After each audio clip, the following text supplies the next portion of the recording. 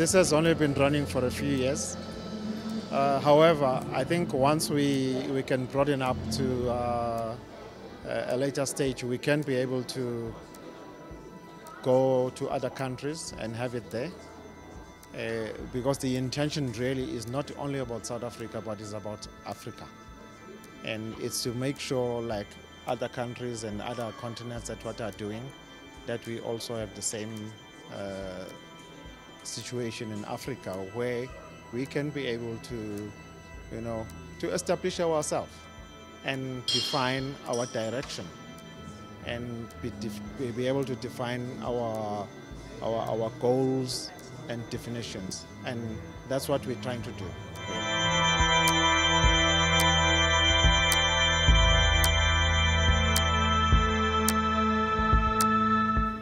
As a company, as ATNS, are very, very focused in making sure that we not only uh, develop aviation, but we develop business. We are a state-owned company. Uh, as you know, we run ATNS on business principles. Uh, we are in the uh, course right now of converting even our training academy to be an academic institution, not just a, a training academy for uh, ATCs and uh, engineers. Uh, but one of our core functions is to make sure that we support government on uh, alleviating poverty, unemployment, and inequality.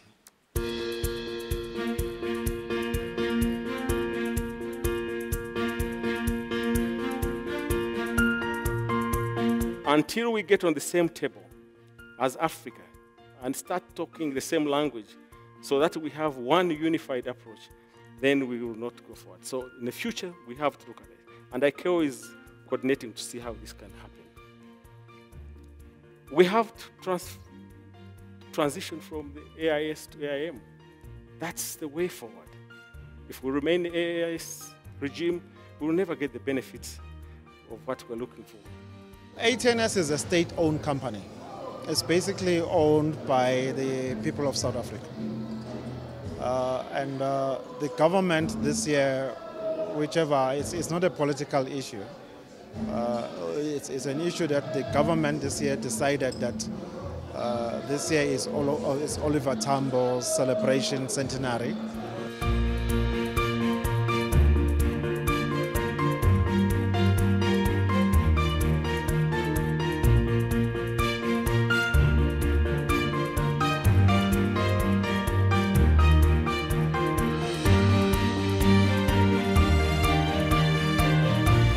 ATNS is a very, very important strategic role player within the sector. Uh, and TIA is an innovation enabler. So it's a natural relationship. It's a natural partnership for us to leverage off, to support each other, to bring about a collaborative view towards innovation within the aviation sector. So for us, it's very important. It's strategic. It's key. Uh, I must confess, though, I think we can do a lot more with the relationship.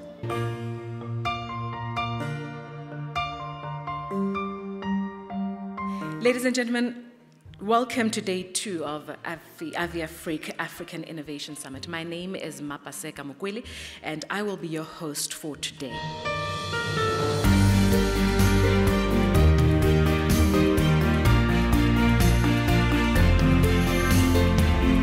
How can we increase our local content in terms of uh, high technology?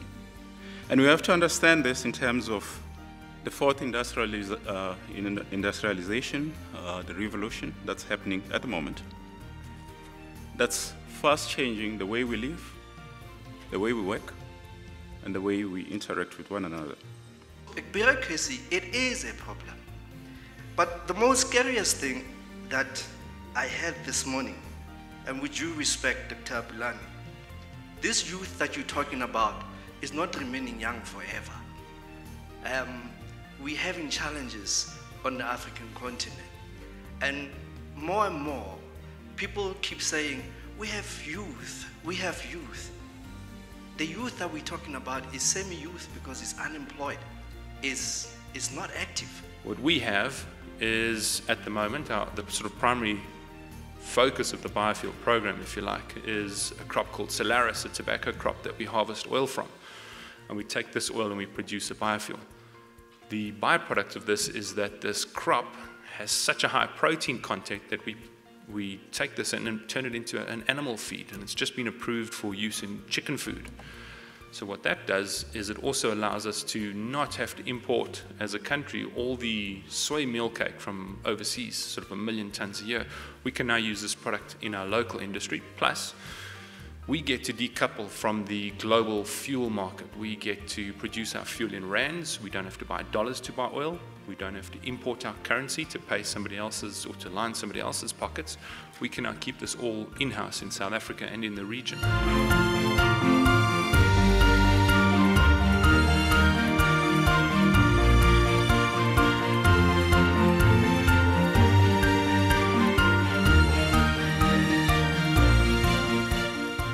Therefore, on behalf of uh, the ATNS board, our CEO, our executive team, our staff, we'd like to thank you and wish you all the best as you depart and uh, go your separate ways. Thank you.